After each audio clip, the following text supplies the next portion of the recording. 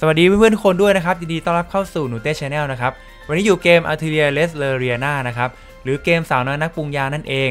ในคลิปนี้ครับผมจะมาพูดเกี่ยวกับการจัดทีมนะ ในการผ่านเนื้อเรื่องหลักนะครับ ไปจนจบ chapter 3เลยนะ ก็เหมือนกับเพื่อนๆเนี่ยหลาย ๆคนครับยังจัดทีมไม่ค่อยถูกนะครับ ก็คลิปนี้น่าจะช่วยเพื่อนๆได้นะครับ โดยการจัดทีมของผมนะครับ ก็จะแบ่งเป็น 2 หลักใหญ่ ๆ นะครับ ก็คือ main quest นะครับกับ dungeon นะ โดย main quest เนี่ยเราจะเล่นแค่รอบเดียวนะครับ ส่วน dungeon เนี่ยเราจะต้องเดินเจอศัตรูไปเรื่อยๆนะครับ แล้วก็เลือดเราเนี่ยถ้าลดเนี่ยมันจะเพิ่มไม่ได้นะครับ ฉะนั้นการจัดทีมจะต่างกันเล็กน้อยนะนะครับ โดยการจัดทีมพื้นฐานนะครับ ในการผ่าน chapter 3เนี่ย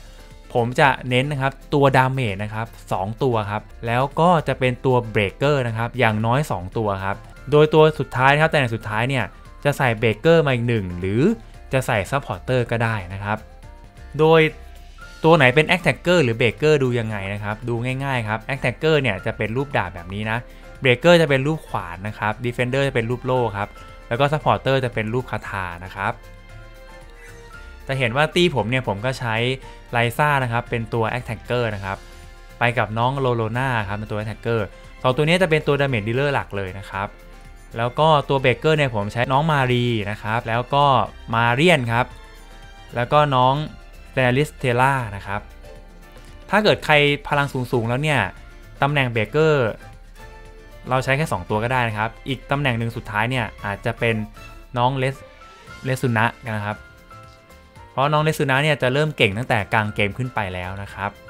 โดยทีมนะครับ main quest นะครับ ต่างกันนิดเดียวนะครับ ตรงที่ item ครับที่ผมเซตนะจะเห็นตรงนี้นะครับ เนื่องจากว่าเป็นการต่อสู้แค่ wave เดียวนะครับ ผมจะไม่ใช้ของ heal เลยนะครับโดยผมจะใช้ของอันนี้นะครับทำให้ศัตรูเนี่ยโดน MATK แรงขึ้นนะครับ แล้วจากนั้นเนี่ยก็จะเป็นitem ที่เอาไว้ปาใส่ศัตรูนะครับ อันนี้ผมจะใช้ Magic Sword นะครับ เพราะว่ามันแรงดีนะ ตรงนี้นะครับ ก็จะดีลเป็น Slash Damage นะครับ เป็นกายภาพนะ ส่วน dungeon นะครับ เนื่องจากเป็นการต่อสู้ที่ยาวนานนะครับ เลือดเราจะลดลงเรื่อยๆนะครับ ผมจะใส่ item ที่เป็น heal เนี่ยมาเยอะมากๆเลยนะครับ แล้วก็จะใส่เป็นตัว debuff มา 1 อัน เพราะว่าเผื่อแบบจะเร่งฆ่าศัตรูนะครับ การใช้งาน item เนี่ยก็ต้องดูความเหมาะสมนะครับ ถ้าเลือดลดมาในระดับหนึ่งแล้วเนี่ยก็ควรต้องต้องใช้ item เพิ่มเพิ่มเลือดนะครับ กันไปด้วยนะ ไม่งั้นเราก็จะตายนะครับ เนี่ยครับการจัดทีมก็ ทั้งหมดก็จะประมาณนี้นะครับ เดี๋ยวผมจะเล่นให้ดูคร่าวๆนิดนึงแล้วกันนะ เอาละครับผมก็จะมาเล่นด่านดันเจียนนะ โดยทีมก็จะใช้ทีมนี้เลยนะครับ いい報告期待してるぜよーし冒険開始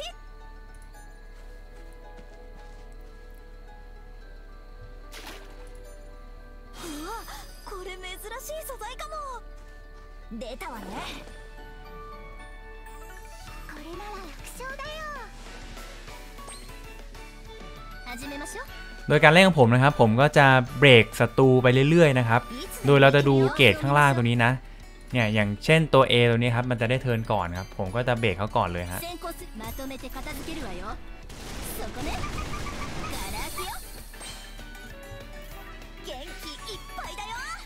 แล้วก็ตัวที่สองเป็นตัวไอแมงกะพรุนตัวนี้นะเราจะตีก่อนเลยครับศัตรูค่อนข้างตีแรงนะครับ ตรงนี้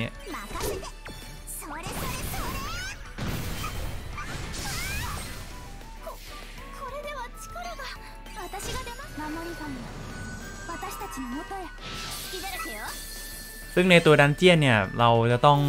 ใส่ตัวฟื้นเลือดนะครับ ไม่งั้นเลือดมันไม่ขึ้นนะครับผม しょうそうだね片付け合わせるわよ準備はいい อันนี้เราจะฮิวก่อนละ それありがとうございますはありがとういい感じじゃない手強はそうねまとめて片付けるわよそこねさすが元気いっぱいだよ เนี่ยครับทีนี้เราก็จะฆ่าไอ้ตัวนี้ ทีนี้มันก็จะเห็นไหมฮะศัตรูมันจะไม่ได้เทินเลยนะครับ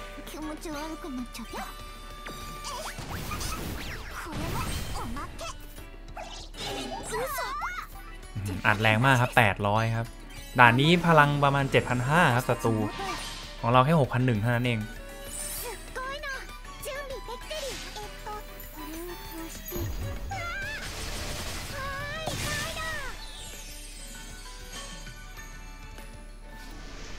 敵を倒すのも冒険のうちこの調子でいこううわこれ珍しい素材かも出たわね全力でいきます นี่ครับ จะเห็นว่าเลือดเราไม่เพิ่มเห็นไหมฮะ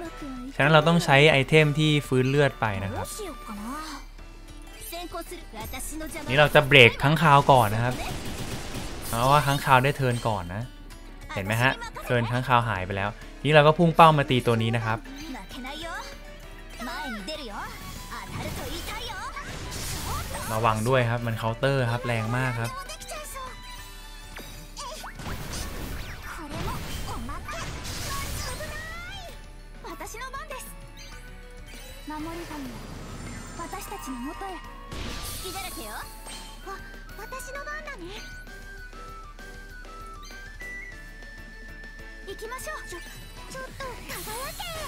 นี่เราจะฆ่าค้างคาวก่อนฮะ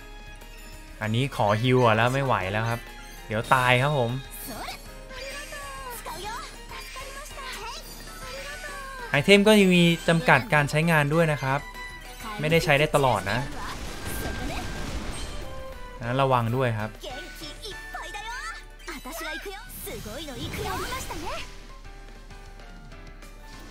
เอาละครับ เป็นไงบ้างครับ ก็น่าจะเข้าใจหลักการจัดทีมไปไม่มากก็น้อยแล้วนะครับผม ก็ในชาร์ปเตอร์3เนี่ย มันยังไม่ยากมากนะครับ เราก็จะใช้ทีมเน้นที่แบบว่าเบรกศัตรูไปเรื่อยๆนะทำให้ศัตรูไม่สามารถที่จะโจมตีเราได้นะครับ เพราะว่าเกมนี้ศัตรูโจมตีเราแรงเหลือเกินนะครับ ก็หวังว่าคลิปนี้นะครับ น่าจะเป็นประโยชน์ในการจัดทีมให้กับเพื่อนๆนะครับผม และใครมีข้อเสนอแนะอยากให้ทำคลิปอะไรยังไง ก็คอมเมนต์กันใต้คลิปแล้วกันนะครับผม แล้วพบกันใหม่ในครั้งหน้านะครับ วันนี้ลาไปก่อนแล้วครับผม สวัสดีครับ บ๊ายบาย